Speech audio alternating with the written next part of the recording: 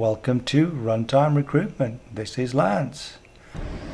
Now one thing I did notice straight away when I tried to assemble this this unit, particularly when I tried to put in, this is the, the, the Wi-Fi and Bluetooth module, and they did supply a spacer because uh, in the video, the instructional video that they have on their website, they don't talk about the spacer.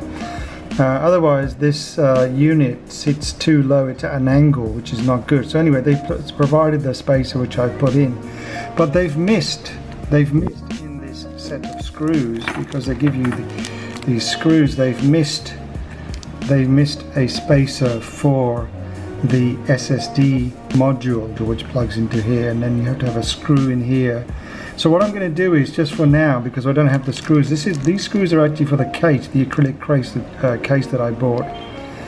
And um, there's only four of them. So one of the spaces I'm going to use to secure the memory module here is, um, and you can see I've used one of their one of their spaces here. Now you've got to be careful here because if you turn it on this side, you'll be able to see that it's pretty flush and uh, there's plenty of space. So just if you are going to use a spacer like I have, don't tighten it too much because otherwise you'll bend you'll bend this unit and uh, you'll you'll put stress on it and it's not good for the memory and the circuits, uh, the, the actual tracks.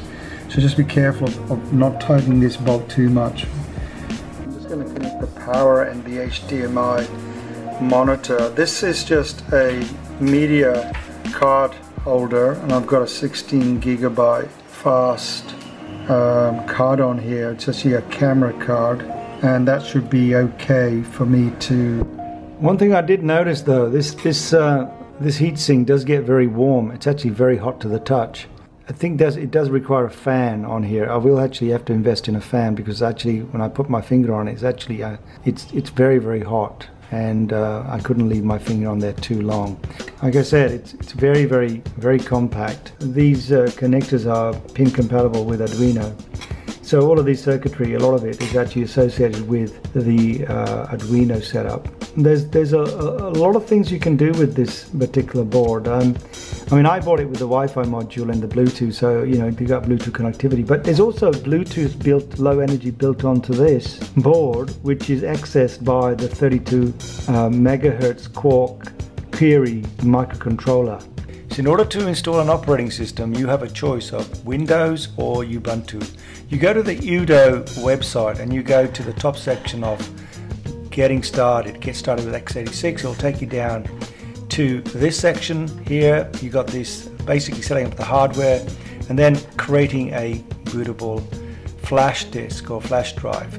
You need a you need a thumb uh, a thumb drive, a minimum of eight gigabytes, probably more. 16 would be better, and you can basically install uh, using Windows or Linux. Uh, you can actually uh, or a Mac. You can you can create the boot boot flash drive. So what you do is you pick the one that you want. Let's say I wanted to install Windows. It will take you to this screen, and then you can pick which operating system you have at home. So if it's a Windows PC, then it will show you, this video will then show you how to make a bootable flash drive on Windows. If it's a Mac, it will give you, show you this video. If it's a Linux machine, it will show you this video. So follow those instructions. There's also um, downloadable PDF instructions that you can also follow if you don't want to watch the video. So do that and you should have no problems. Then once you've got that thumb, uh, thumb drive, you stick it into one of the USB ports on the board and boot up the board by powering it up and pushing the escape key.